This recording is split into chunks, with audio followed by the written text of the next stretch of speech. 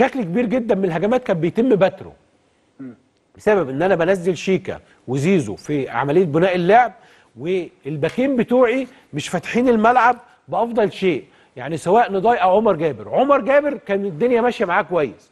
نضاي كان يعني عمر أحسن تصفيفا من نضاي. ولكن نضاي ما عملش الدور بتاعه في ناحية الشمال فعشان كده هو ما بدلش برده ما كانش عنده ظهير أيسر كويس بره في الملعب فما بدلش. انت عايز أقول لك يعني طبيعي تقول لي هيغير نضاي. لا هو الراجل غير شكل الفريق وبدأ يستخدم عدد أقل بنى اللعب وعمل التغيير ده. بس قبل ما يعمل التغيير ده تعالى عشان الناس تعرف فكرة نضاي كان ليه دور سيء في إبراز عدم إبراز شكل الزمالك.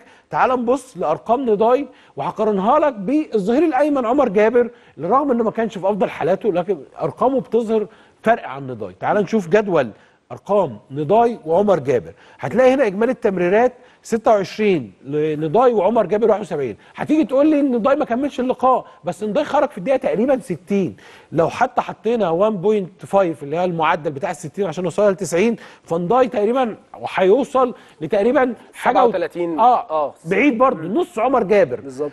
فمعنى كده إن نضاي نفسه ما كانش بيستلم الكورة كتير. التمريرات الصحيحة عند نضاي 16 مقارنة ب 61 عند عمر جابر يعني نسبة نضاي رغم إن هو ما عملش تمريرات كتير بس كانت 62% مقارنة بعمر جابر اللي عامل 86% التمريرات الطويلة نضاي حب يعمل ست تمريرات طويلة زيرو منهم كان تمريرات صحيحة عكس عمر اللي كان بيلعب كرات قصيرة الكرات الطويلة عنده كانت أربعة منهم واحدة صحيحة.